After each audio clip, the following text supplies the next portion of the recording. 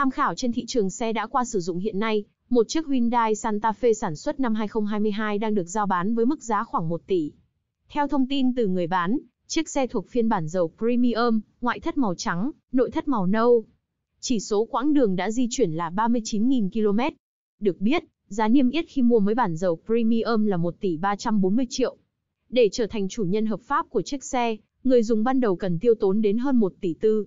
Có thể thấy, chiếc Santa Fe này đã mất giá khoảng 400 triệu sau 2 năm lăn bánh. Tuy nhiên, với những ai không ngại sử dụng xe cũ thì đây vẫn là một lựa chọn có thể cân nhắc. Ở ngoại thất, đầu xe nổi bật với lưới tản nhiệt có họa tiết vân sóng, mạ chrome sang trọng. Nắp capo dập nổi bốn đường gân lớn vuốt dọc về phía trước. Hai bên tản nhiệt là đèn pha Adaptive LED thích ứng tự động tích hợp đèn, định vị ban ngày tạo hình chữ T cách điệu. Những trang bị đáng chú ý khác có bộ mâm 5 chấu hợp kim có kích thước 19 in, gương chiếu hậu chỉnh gập điện tích hợp đèn xi nhan LED, tay nắm cửa mạ chrome, cụm đèn hậu LED thanh mảnh. Bước vào bên trong, Hyundai Santa Fe 2022 được trang bị vô lăng 3 chấu bọc da, cụm đồng hồ kỹ thuật số 12.3 in, màn hình thông tin giải trí 10.25 in, hỗ trợ kết nối Android Auto Apple CarPlay, hệ thống 10 loa Harman các đông, điều hòa tự động hai vùng độc lập, cửa sổ trời toàn cảnh panorama, xa không dây chuẩn kỳ. Hàng ghế đầu có ghế lái chỉnh điện 8 hướng, nhớ hai vị trí và có tính năng sưởi trên làm mát, trong khi ghế phụ có hai nút chỉnh độ ngả và vị trí.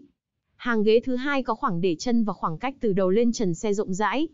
Hàng ghế này được trang bị bệ tỉ tay kèm hộc để đồ, đồng thời có thể trượt tiến trên lùi, hoặc gập phẳng khi cần mở rộng thể tích khoang chứa đồ.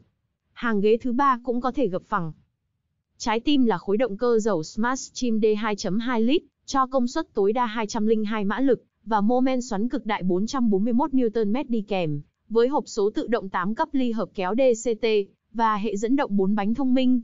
Trang bị an toàn tiêu chuẩn trên xe có 6 túi khí, hệ thống phanh ABS, EBD, BA, kiểm soát lực kéo, ổn định chống trượt thân xe, cân bằng điện tử, hỗ trợ khởi hành ngang dốc, hỗ trợ xuống dốc, cảnh báo điểm mù, cảnh báo lùi phương tiện cắt ngang, cảnh báo người ngồi hàng ghế sau và cảm biến trước sau.